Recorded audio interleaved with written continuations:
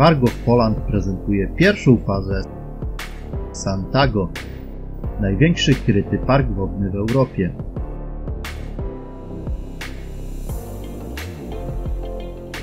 Największe zjeżdżalnie wodne w jednej lokalizacji, gdzie znajdzie się coś dla każdego. Jeden park, trzy różne strefy. Ciesz się w Sanaria. Zanurz się w świecie relaksu. W strefie Sanaria czeka 12 różnych atrakcji, dzięki którym wypoczniesz oraz zadbasz o dobre samopoczucie. Znajdziemy tam 8 różnych saun i łaźni, 4 baseny witalne, 2,5 tysiąca metrów kwadratowych dla duszy i ciała.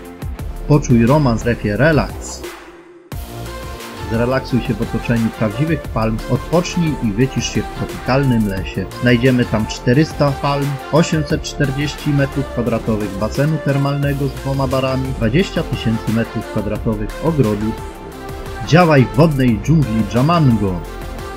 Jedyna w swoim rodzaju wodna dżungla pełna atrakcji i niespodzianek na światowym poziomie. Znajdziemy tam ponad 3 km największych w Europie zjeżdżalni, 2000 m2 basenów, 300 prawdziwych palm i 4000 leżaków.